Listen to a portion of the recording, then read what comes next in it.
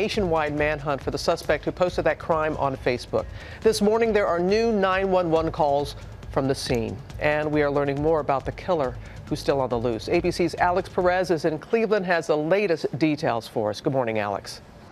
Good morning, Robin. The FBI and local investigators have been working this case around the clock, speaking to anyone who may have seen anything and can provide evidence or information on this case. Authorities have also contacted law enforcement across the country, asking those agencies to be on alert for any sign of the suspect. This morning, for the first time, we are also getting our first listen to some of those moments uh, as the drama unfolded, the panic and confusion that began right after that shooting.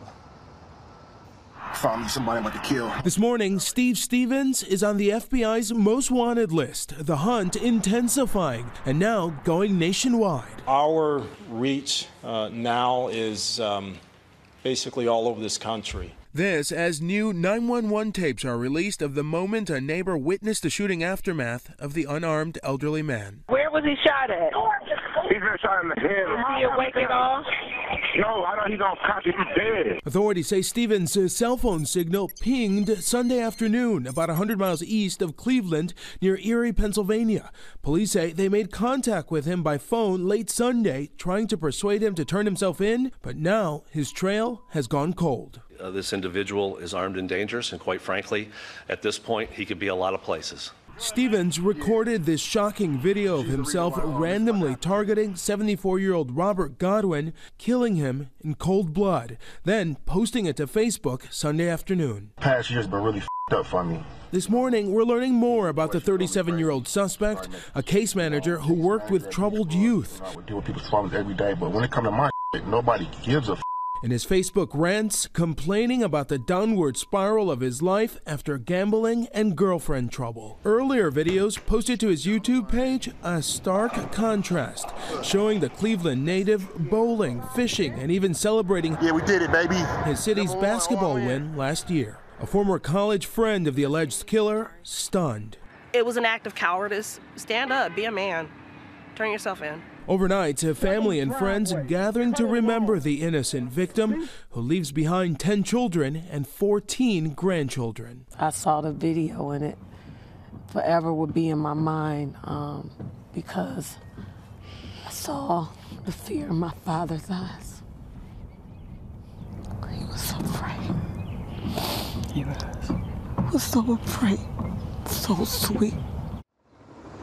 And authorities say they are following up on, quote, dozens and dozens of tips. There's also now a $50,000 reward for any information leading to an arrest in this case. Robin? Alex, thank you. Joining us now is our chief business correspondent, Rebecca Jarvis, and our contributor, former Dallas Police Chief David Brown. Chief Brown, let me start with you. Where does the search stand right now? It's a national search. It's been reported, and we are combing all of the technology uh, that he might use beyond cell phones, just social media, might be uh, leads that might develop as well as family and friends because it's highly suggestive that he's getting help in order to be able to disappear off the radar like this. Because yesterday we were saying there were five, five states that were on high alert. Now they're just saying it's a nationwide surge. As more time passes, it gets becomes a little more complicated more complicated and more difficult for law enforcement to be able to locate. They need help from the public, and they've made those pleas uh, to the public to report anything they see that might be suspicious, that might uh, be a tip that leads them to capture this suspect. You're familiar with, with, with searching for suspects. So, so what, what's next in the manhunt, do you think?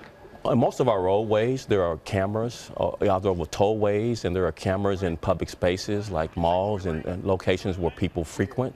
And so we're combing all of those types of technologies in order to ho hopefully get that one little tip mm. of a mm. license plate or just a suspicious thing that happened that people report and follow up on that. But it's, again, it's a needle in a haystack yeah. type of search.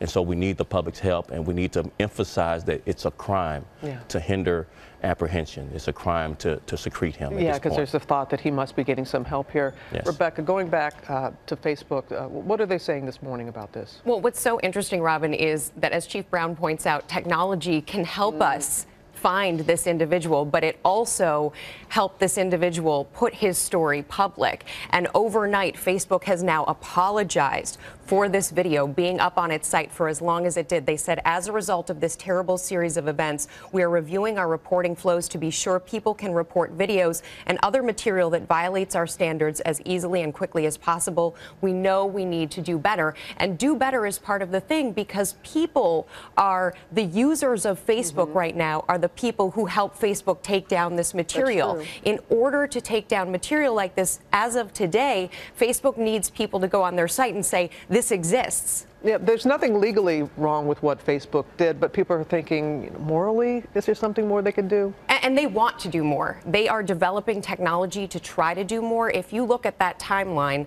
between the time that this individual posted his first video until they took it down, that was more than two hours. All right, both of you, thanks so much.